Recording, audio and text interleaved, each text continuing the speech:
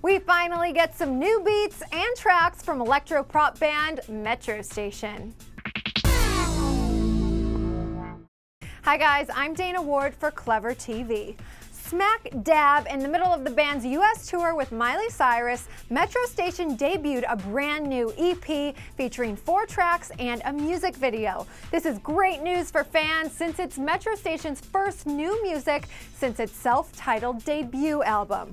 The name of the music package is Kelsey, and it quite fittingly showcases the popular song Kelsey with both an acoustic version and a remix.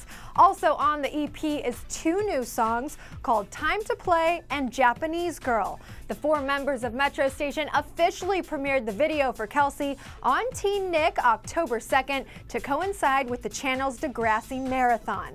With the band's first album selling more than 380,000 units in the States, as well as 3.5 million digital sales, how do you think this Kelsey EP will do in the marketplace? It's reportedly available on iTunes for just under four bucks, and that includes the music vid featuring Friday Night Lights actress Aimee Teegarden.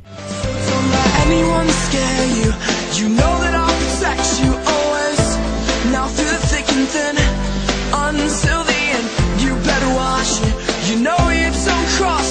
because I'm always here for you, and I'll be here you. Can also catch more of Metro Station as they continue touring through December 2nd.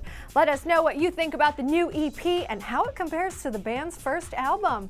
I'm Dana Ward at the Clevver TV headquarters. Thanks for watching.